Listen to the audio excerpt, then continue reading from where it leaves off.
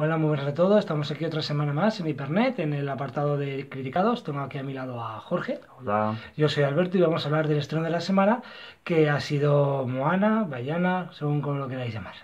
Sí, la película de Walt Disney ya está en cines. Es oh, una nueva aventura en clave femenina sobre una joven que rescata del desabastecimiento a su isla y a su familia, ah, navegando más allá del arrecife.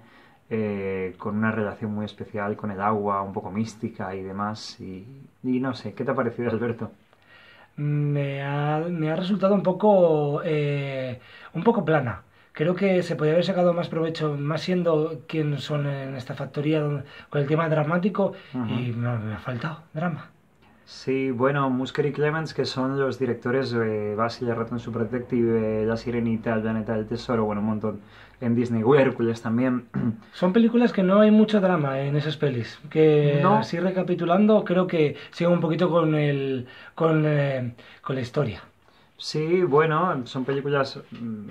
Bueno, El planeta del tesoro tienen, tienen el, el- el honor de haber hecho la película más mm, que peor funcionó, yo creo, del estudio de la Sí. historia. Y Basil también por ahí, ¿eh? Lo que pasa que, bueno, Basil luego con los años se ha convertido en peli de culto, El planeta del tesoro ni eso. No, no, esa no se ha salvado. Pero esta yo creo que está un poco más cerca de...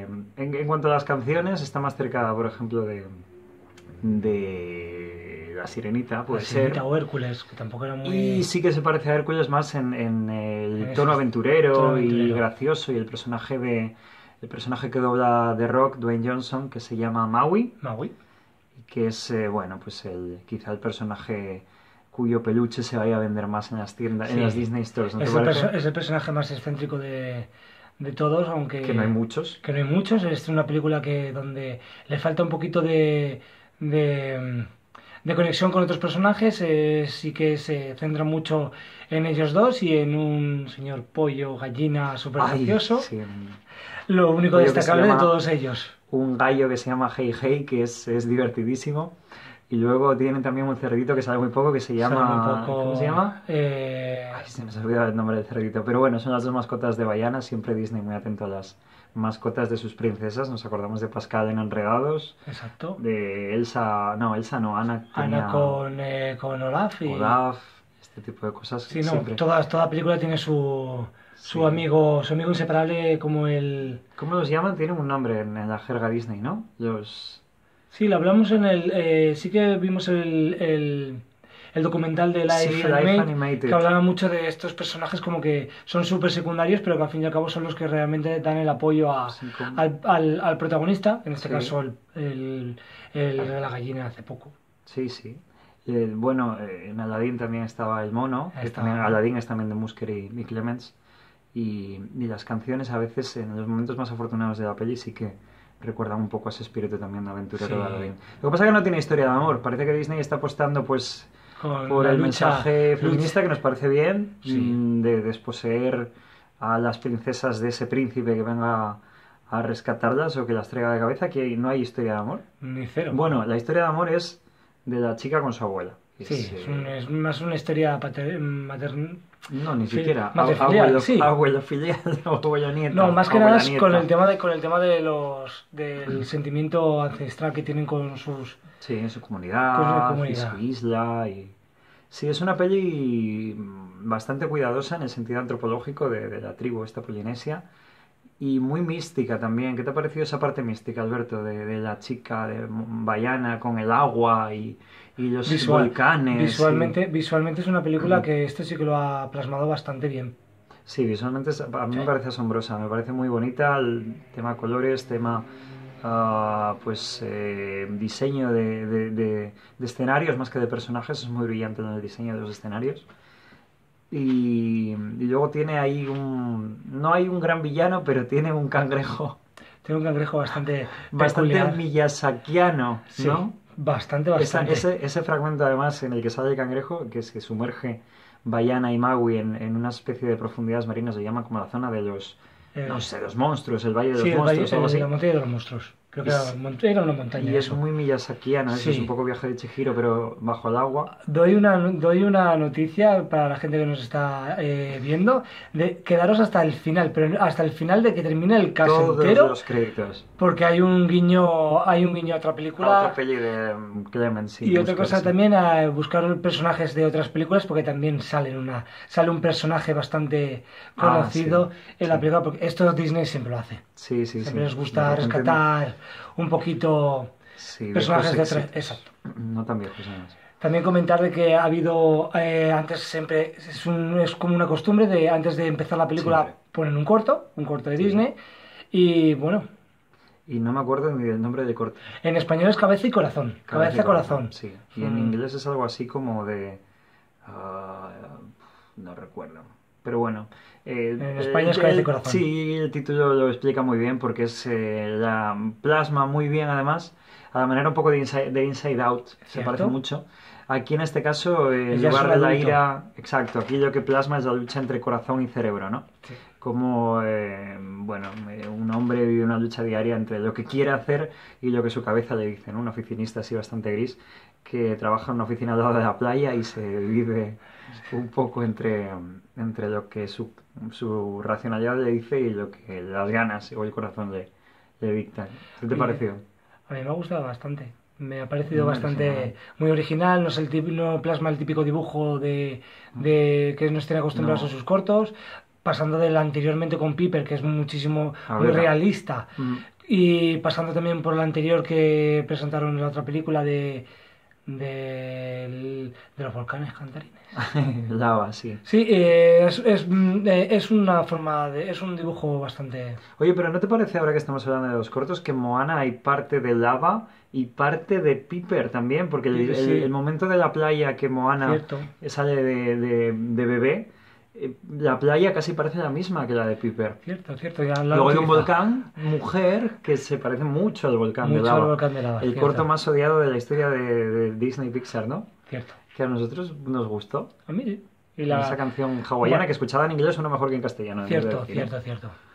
Y bueno, hablando de música, pues eh, una película Disney con su banda sonora, con ese, con ese tema, con varios temas, que además eh, uno de ellos se postula como gran favorito de, de, de los Oscar, que es una canción Espera que muy, muy tribal de ellos. Sí, bueno, el compositor se llama Lin-Manuel Miranda Que- y hay una canta. canción que se llama How Far I'll Go, que es como el Let It Go o intenta ser el Let Cierto, It Go de cierto. turno. que la Ah. repite la película varias veces. La repite tres veces con letras distintas, que llega a hacerse un poco pesado, pero bueno, se nota que Disney va, va a tope otra vez por el Oscar a Mejor Canción. Veremos si lo logra y veremos también, estábamos comentando, qué pasa con el Oscar de animación, porque Disney compite contra sí misma dos veces. Es, Es- decir, tiene tres candidatas este año, Y, de- y las dos son muy fuertes, ¿eh? las tres. Exacto. Bueno, yo es que a esta no, no, no me ha llegado a. No me ha llegado a. No me ha llegado igual que me llegó eh, Dory, que ya hemos hablado que no. que es la que menos opciones tiene. pero- Bueno, nunca se sabe, es Sí. la única de Pixar. Cierto. Pixar es la compañía que más Y después está tiene. Zootropolis, que es la que más, la que tiene todas Está las llevando papeletas. todo ahora, de momento, los premios previos y la que más nominaciones tiene, por ejemplo, los premios Annie. Pero bueno, mm, puede ganar cualquiera de las tres. O puede no ganar ninguna de las tres de Disney, porque está por ahí Cubo. Cuando llegue, Y- cuando llegue la- lo- cuando llegue ya los Oscar y demás y los Globos de Oro lo hablamos.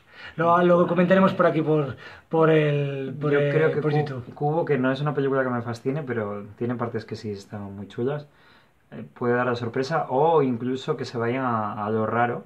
Siempre la quinta nominada es mm, eh, una película no americana normalmente y este año puede ser La Tortuga Roja, que es del estudio Ghibli o con producción con o el- Francia. O el Calabacín. O Mi vida de Calabacín, que es una película que hemos visto en la Filmoteca de Barcelona y que es una película stop motion franco-suiza, muy muy bonita y muy recomendable. Eh, pero bueno, esta a ganar yo creo que lo tendría más difícil. La Tortuga Roja, por el hecho de ser Ghibli y ser una animación así más Son casi- minimalista. Casi, el mismo estudio, porque casi lo tiene medio comprado, si no lo ha comprado ya. Sí, sí, sí, de hecho tiene capital francés ahora Exacto. Ghibli, o sea que... Bueno, ¿la recomendamos?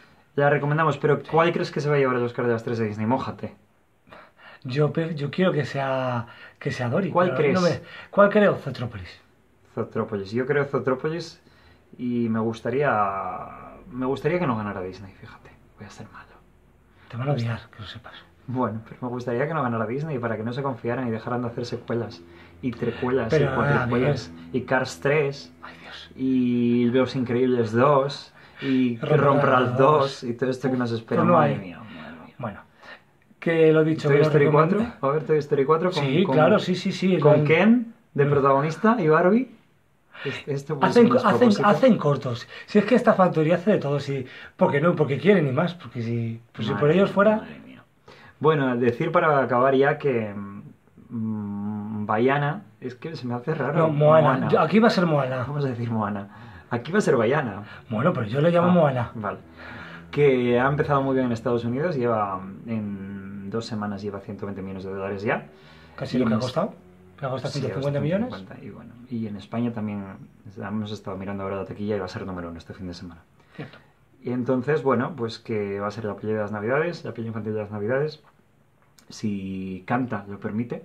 Bueno, pero Canta. Canta llega ya directamente a Navidades, entonces ya habrá hecho ya parte de la carrera y aquí en, aquí en España ya la tiene hecha. Que canta se puede meter también en nominación al Oscar, veremos. Lo que pasa que Illumination ah, ya tiene mascotas este año que les fue muy muy bien y esta seguro que les va a ir muy bien, tiene muy buena pinta.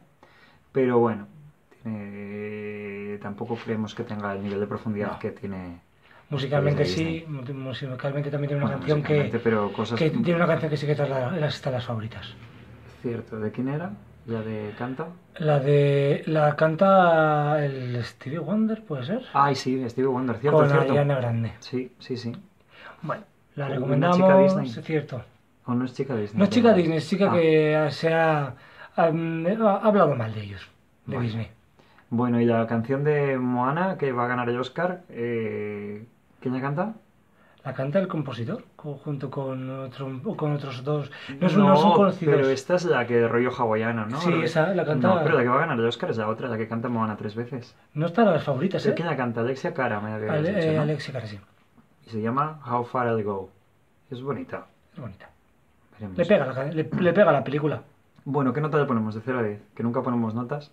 Hoy vamos a poner notas. Yo le doy un siete y medio. Un 7 y medio. El 7 y el 8. Vale, yo sí, un 7. 7 alto. Bueno, pues ha sido nuestra, nuestra crítica de esta semana. Eh, la semana que viene más y mejor aquí en el canal de YouTube. Y cualquier, nos podéis seguir en, nos podéis seguir en Twitter, nos podéis seguir en, la, en el blog de Hipernet y, y en nuestros Twitters también. Claro. Que los tenéis abajo en, en la descripción. Sí, sí, os podéis ver ahí. Pues nada, hasta la semana que viene. Hasta la semana que viene.